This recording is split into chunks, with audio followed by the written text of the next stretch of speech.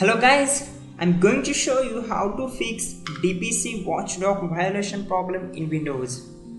So don't miss any steps, watch this video carefully.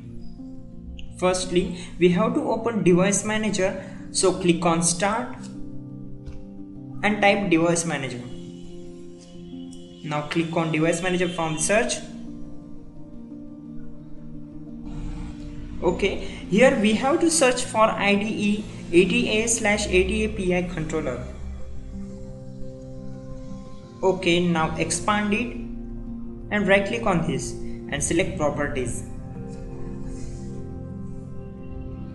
On this window, select drivers tab. Now we will check for drivers details firstly, it is updated or not. If the drivers are not updated, then click on update drivers. Now click on this. That is browse my computer for driver software. Here select this option.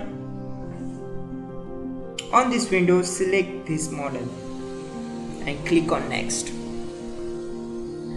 It will take some time to update the drivers.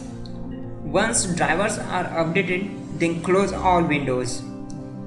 That's it. Your problem is solved if you resolve the issue with the solution, please let us know. Also like the video and subscribe the channel. Thank you.